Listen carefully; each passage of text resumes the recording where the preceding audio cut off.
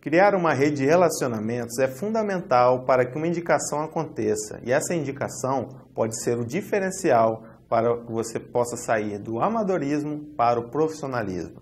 Então saiba lidar com as pessoas.